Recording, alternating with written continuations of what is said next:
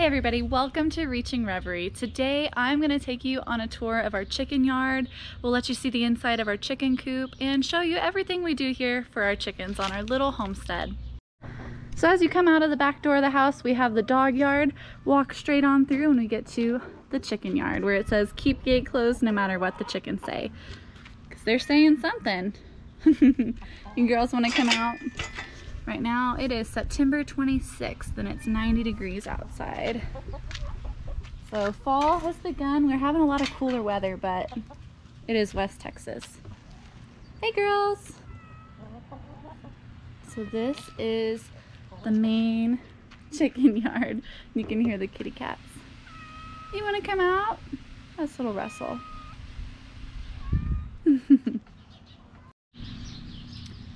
So as we come into the chicken yard, let me take you guys to where our chickens live.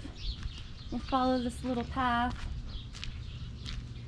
to the chicken coop. So our chicken coop, we built ourselves. It's right here. And we also have a little sunshade for them because the sun is just brutal out here. So that keeps a little bit of the sun off directly off the coop to help keep it just a little cooler for the girls. We also have their egg box vented in the day to let some of the heat come out so that they aren't just super hot while they're trying to lay an egg. We do have a chicken run right here. A chicken run is a safe outdoor space that you can keep your chickens in. Anytime that they are not supervised or there is a predator threat, a weather threat, we can have the chickens out here. Um, we can close this door. We have it left open with a bungee cord because sometimes it gets really windy and the door will close on its own. So when we want it open, we'll bungee cord it open or we can close it and it'll keep them safe if it's really thunderstormy outside or if we see predators like hawks or if we have something in the area that we're worried about. Otherwise, we let our chickens free range from dawn all the way until dusk. So most of the time, we'll come out here right at dawn and we'll open up their chicken coop. They have a little door that closes and they have access to the chicken run for probably the first hour, hour and a half of the day. And once the sun's really up and we think that the threat of like owls is gone, we'll go ahead and open the door. And the rest of the day, they have the whole chicken yard to run around in, free range in. Otherwise, um, we really don't keep them in here unless it's bad weather or usually the last 30 minutes of daylight we'll put them in the chicken run so they can wind down, eat and drink water, you know, kind of settle down before going into the coop at night and they'll put themselves to bed. Once it gets dark, we'll just close the door behind them to keep them safe for the night. So let me show you the inside of our chicken run. What do we have going on over here? So we have a little dust bathing area. We refeed the eggshells to the girls for extra calcium and we put them in here and they have free choice to eat whatever they think they need. So what we do is anytime we eat eggs, we save the shells, and when we have enough shells, we'll bake them to kill any bacteria, and once they're baked, I just grind them up in a mortar and pestle and put them in here, and when the girls need calcium for strong eggs, they'll eat their old eggshells. And then I have a feeder for grit, which is basically where we just put little rocks, it's little crushed up granite, and whenever they need grit, because chickens don't have teeth, so whenever they um, eat this granite, it goes into their gizzard, and their gizzard helps masticate, it helps um, chew the food for them. So they eat grit, which are little rocks, which they can find when they're free ranging, but I like to provide it in the chicken run where they don't have access to little rocks. And then this is their water. We refill this water and completely clean it out every other day. If you try to go more than two days in here, it gets kind of scummy. So we fill this water and in this one we add apple cider vinegar.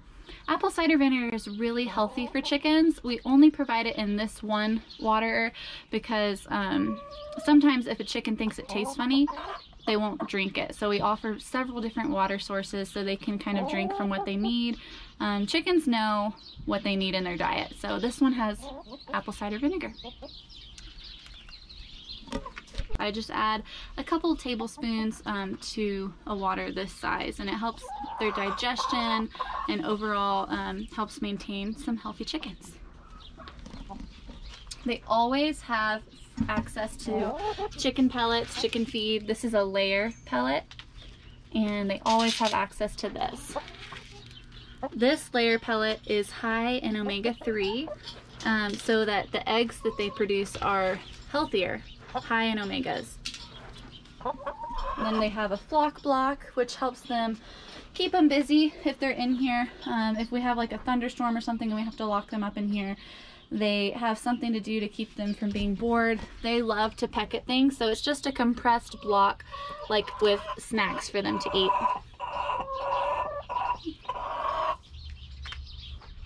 See? Molly's trying it right now. They love pecking at it. We go through about two flock blocks a month. They're not too expensive. It's about $15 for one of these. And they will eat it all the way down until it's nothing. And it's just a nice little snack for them keeps them busy. We do also have an area just with bedding for them. It helps like if they have muddy feet, it dries them off. It gives them a nice dry place to sit and get out of the sun and they love it. Underneath of their coop, they also have a little area where they like to go and sit. It's always shaded under there.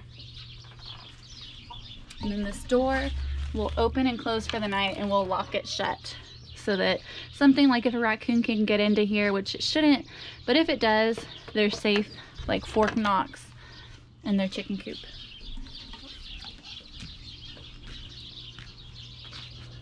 This is what we call the cluck house. It's just a little chicken coop that we made for them. We have, we open it up. This is where they lay their eggs. There's always one nesting box that's very popular. Whoever lays the first egg of the day picks where they're all gonna lay. They're kind of like middle school girls. They follow these trends and this was the popular stall today. This is all the eggs that we've gotten so far this morning. This one's a fake egg to help tell them where to lay and they chose this spot. so I just leave this vented open to help some of the heat, hot air escape. On the whole perimeter around the entire structure of the run and the coop, we dug down hardware cloth and buried it. So if anything like a raccoon or a possum or a skunk gets in here and tries to dig into the coop, into the run, they're going to hit hardware cloth and they won't be able to get under. We also buried bricks just like these under here as well. So if they do dig down, they're going to hit brick. And if they come out farther and then try to dig, they're going to hit hardware cloth. So it is going to be very hard for any predator to try to dig their way into the coop. Inside, we do have chicken wire, which can easily be chewed through by something like a raccoon. But the top three feet, all the way around the perimeter of the run, is hardware cloth, which they're not going to be able to chew through. So hopefully if we get any predators, they're going to have a hard time getting in here. It'll also prevent things like snakes from getting in because something like a rattlesnake or anything that's going to want to eat the eggs or try to get at the chickens could probably fit through this, but they're going to have a harder time fitting through this um, hardware cloth that we have going around the whole perimeter. On the inside, we did along the back wall put brick because we couldn't fit the brick on the other side. So we still have the hardware cloth going down, but on the inside we have brick. So if anything were to try to get back and dig in from the back side, they would also have a pretty hard time. And then the chicken coop is supported on some blocks. And then down in here we also have bricks and rocks helping to support the siding so that we have it dug down into like a little lower um, graded area for the girls to get down out of the wind, out of the rain, and into the shade. And they love to hang out under here when they're in the chicken run. And this shade structure that we have built just to help protect it from the wind because it does get so windy out here, we have the poles dug down into the ground and cemented in. So underneath this dirt, we have um, cement and we have four by fours that are sunken into the cement and we have um, these beams are drilled in with bolts and then also bolted down and tied with rope. So the rope's holding on the fabric and then the structure itself is cemented in in the corners. You can see here a little better.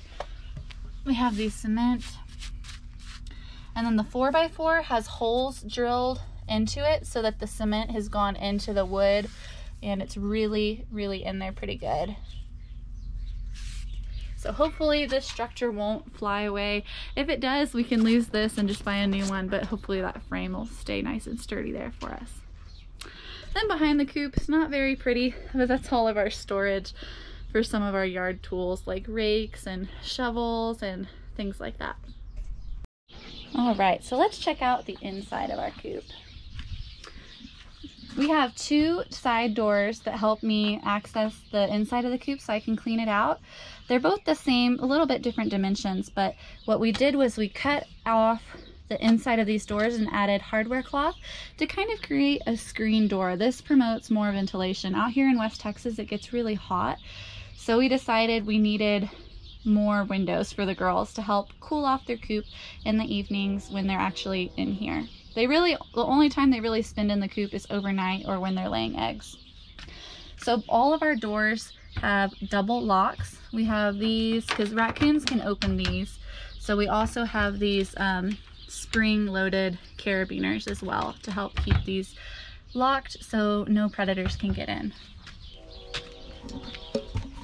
On all of these doors, I have a one by two that I can pull out so that I can easily just rake all of the bedding out. And then whenever we're ready to close it up, put the one by two back in and it keeps the bedding from falling out.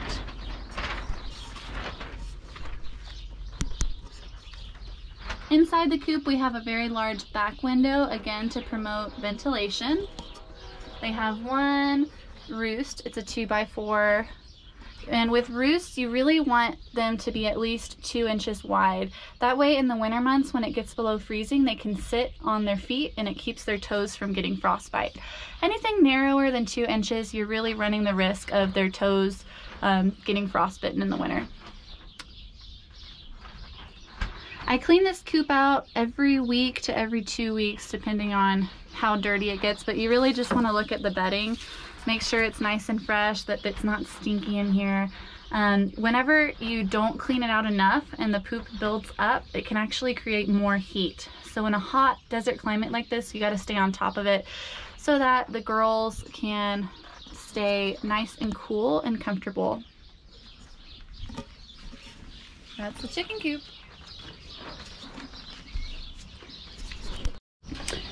Over here, just across from the chicken coop, we have a little area where we keep hay and alfalfa.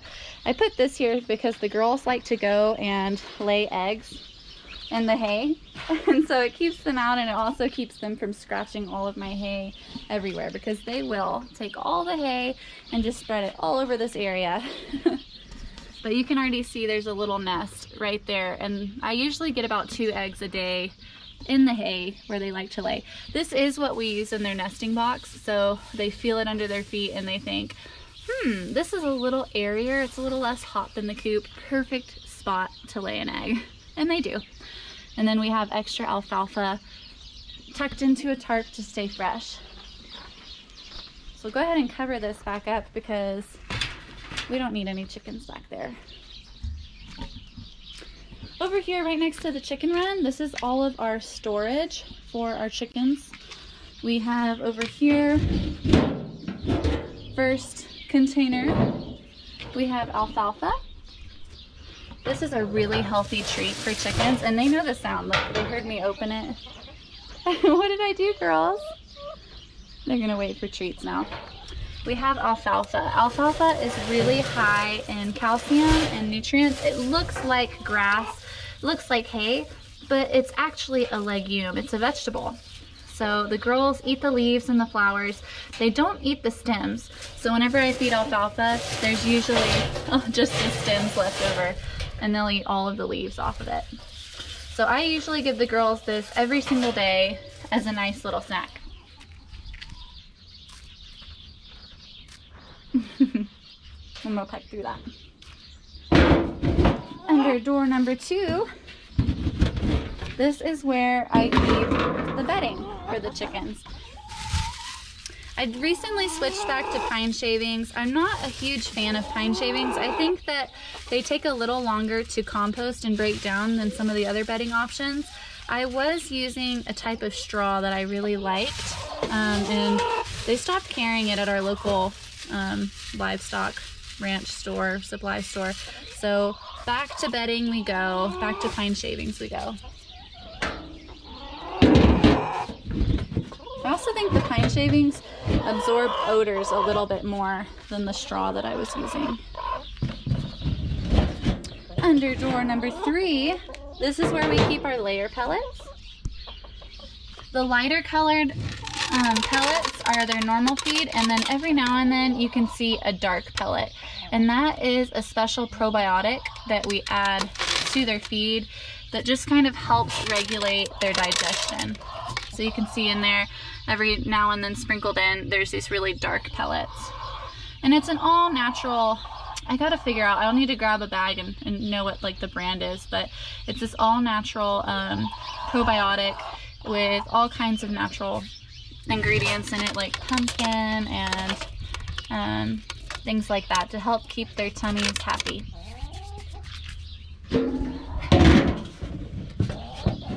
In their favorite bin over here, Yasha's been waiting very patiently. We have the chicken scratch. Usually we get chickens trying to jump in here. We actually need to get more chicken scratch. Chicken scratch we only feed in the cooler weather because um, corn will increase the body temperature on a chicken, making it harder to regulate their temperature on a hot day. So we'll just spread that out for them. Now that it's fall, we're going through chicken scratch pretty quickly. Go, give them one more handful. Chicken scratch. Uh, the chicken scratch that we feed, it's actually, um, uh, what's it called? It's called a conditioner, and it's something that you can give to wild birds or, I don't know, I, we thought that it had more nutrition than general scratch, so this one was a lot more expensive. You can buy most chicken scratch for 5 to $10 for like a 50 pound bag. This 50 pound bag was like 25 or $30 because it had a lot more protein, and it has pellets with rich with nutrients in it as well. So this is the junk food, but we kind of tried to go a little bit more nutritious junk food, if you will. If you have chickens and you have any small um, plants that you're trying to grow, I do recommend protecting those plants because the chickens will eat them. Here we have a pequin bush it's a little chili pequin plant and it's just now starting to bud. It usually produces through fall and winter for us. This chili pequin plant has been here since before we moved in and we moved in about three years ago so it's very established however the chickens would devour it if we didn't protect it so that's what we're doing here any plant that they do have access to they are going to eat from unless it's toxic chickens kind of know what to leave alone. So they don't really mess with our lantana too much. They don't like it. They do love our honeysuckle plant. We did have to protect that because they were completely devouring it. Our honeysuckle didn't do too well this year. We had a really harsh, hot drought summer. So it's hanging in there, but this was completely lush and green this time last year. So hopefully it'll come back next year a little better. As we look through the chicken yard. They like to hang around here.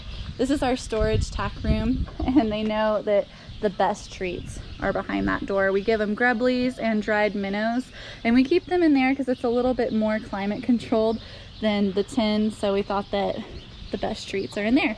So they always kind of pace around like, hey, are you gonna come and give us the good stuff? We sometimes do. Is a look at the rest of our chicken yard. Here we have a bird feeder. In the fall and the wintertime, we do put the chicken scratch in here and the wild birds can kind of eat from it. And what they don't eat, a lot of times they're really picky and they'll do this. They will give to the chickens. So the chickens kind of get this slow feeder treat throughout the day. In the summertime when it's really hot and we're holding off on chicken scratch, we'll just put pellets, pellet chicken feed in here um, so that when the birds come and eat it, they are giving the chickens chicken food instead of chicken scratch. The pecking order is strong. You know, our chickens are actually pretty nice, I think, compared to a lot of chickens.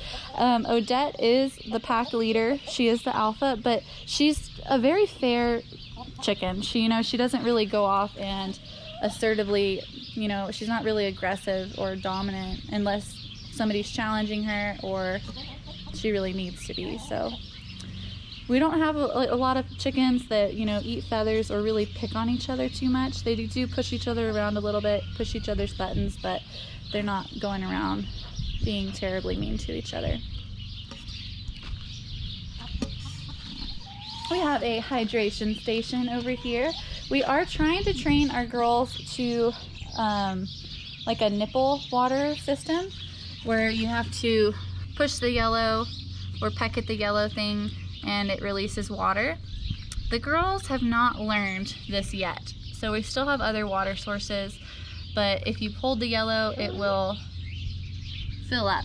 And so the girls will gladly drink the water from this, but they don't know that the yellow lever is what gives them water. So still working on that, trying to get them interested in it. I do have another water source right here.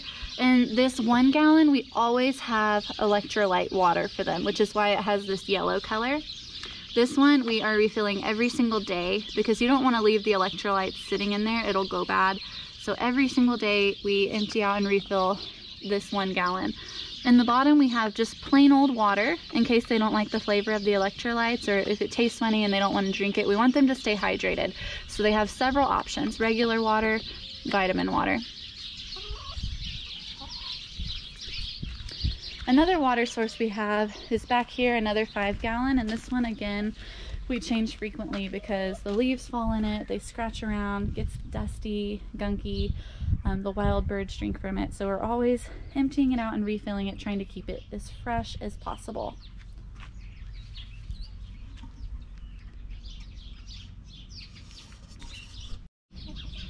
I actually really like this bird feeder. We have it hung from our pine tree.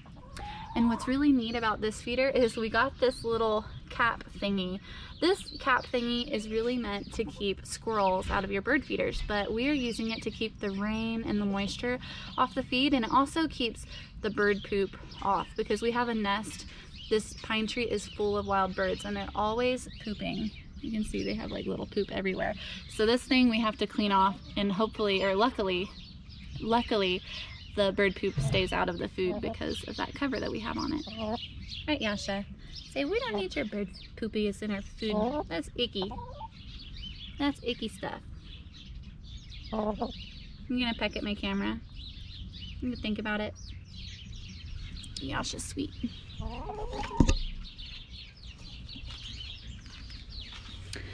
we have a nice relaxing resort experience with our umbrella and our hammocks. We love to hang out here with the chickens. We'll spend hours just sitting with the girls, relaxing with them, enjoying the day. And this area over here is where we are composting all of the old bedding and food scraps. So you see we gave them pumpkin today They'll come over and eat that. We also have a frozen banana back there for them to eat.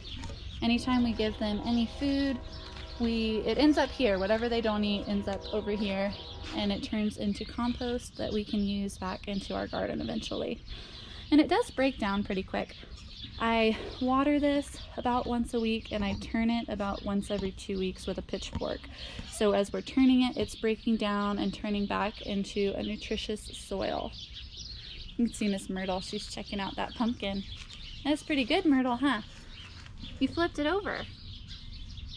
And the girls will eat everything except that rind. She could see she's peeling it back and eating the good stuff. The girls love pumpkin. They love just about anything. They like watermelon, um, any food scraps that you don't want to waste. As long as they're not overly salted or overly sugary, we'll give them just about anything. There's a couple things that chickens can't eat, but it's very minimal. Just about anything they can eat. We built this fence right here to keep the chickens safe from the dogs. Our dogs are actually really chill. You have one right there.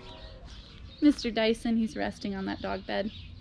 The dogs are really chill and they're really obedient, but we also wanted to keep the dogs at a safe distance from the chickens because dogs love chicken poop and chicken poop can have like salmonella and different types of bacteria that are not good for dogs to ingest. So we just used a couple 4x4 post um, stock panel with some chicken wire over it. This is also a great place to mount our misters that we use in the hot days of summer to help keep the chickens cool. Around here we have one more water source for our chickens. This is a tub that I have to clean out every single day, which is really nice because whenever I dump it out, they love playing in the puddles that it creates. I really like this water source because it is like the most natural, I think, water looking water source. It's almost like a little pond for them. On really hot days, they'll walk through here, wade in, and get their feet wet. And when they do that, it helps regulate the temperature. When they can really cool down their feet, it helps cool down their whole body.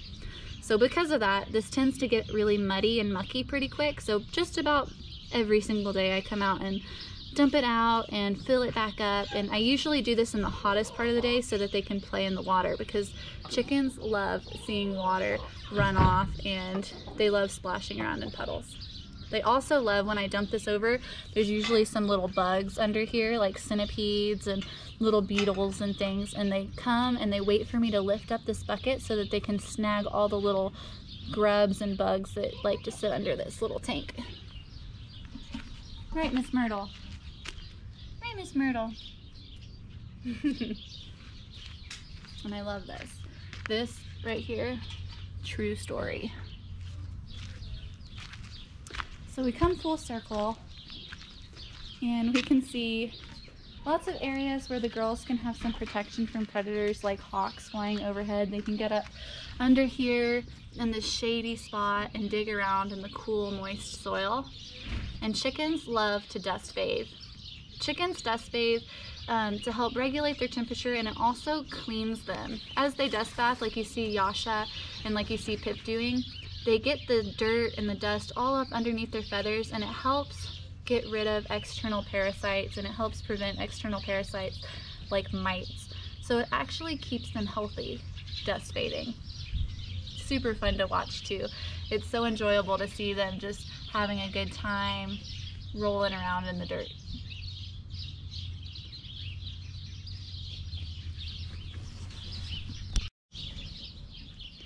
Then up here on the other side of our propane tank, we have our cactus garden.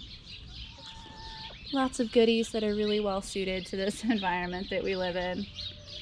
The chickens have been a little naughty and they've been getting up here on the table and scratching through the soil and broke a couple of our pots. But overall, keeping the chickens' wings clipped helps dramatically prevent things like that from happening we slacked it a few months ago and their flight feathers got long enough that they started jumping up on our table.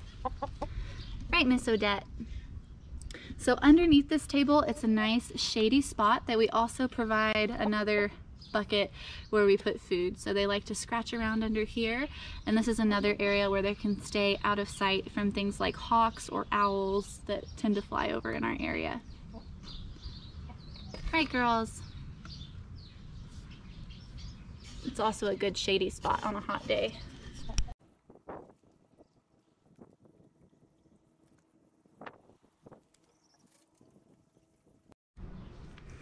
And then of course we have the garden, which we do have protected by, this is what's called a horse fence, which has two by four metal wire squares.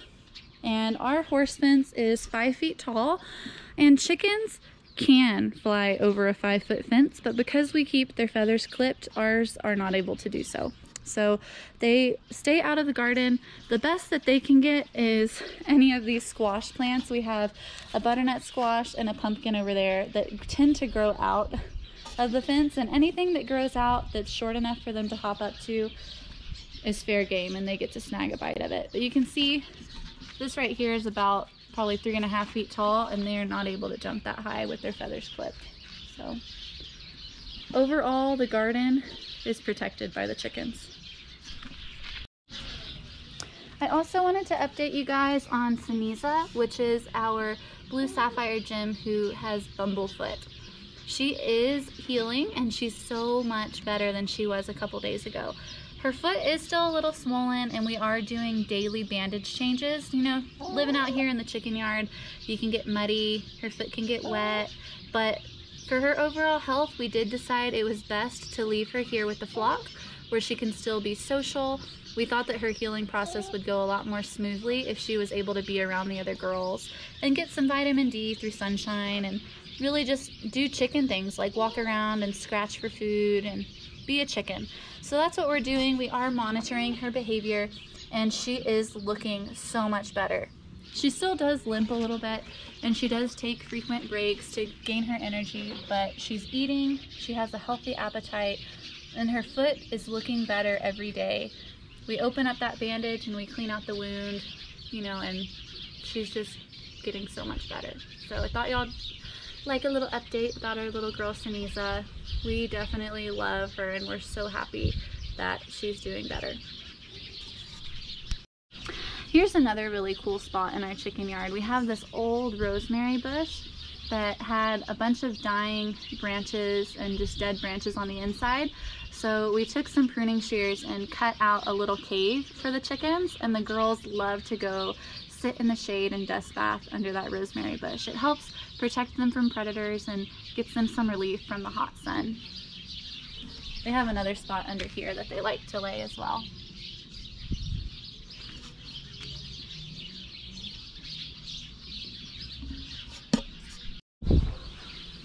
That has been our chicken yard, coop, and run tour here at Reachin' Reverie. If you have any questions, leave them in the comments below, or maybe you have a coop you want me to check out. I'll go take a look. Otherwise, thank you so much for watching. Go ahead and like and subscribe, and we'll see you next time. Here I have that favorite snack I was telling you guys about, grubblies and dried minnows. Grubblies are a soldier fly larva and they're 50 times more calcium than mealworms. So they're a little more nutritious, so we like to stick with these, and we give the girls these treats on special occasions, but they know where they come from. So anytime I come into this tack room, they are always waiting for me very patiently, sometimes a little impatiently yelling at me to hurry up, but they know. This is where the good stuff comes from.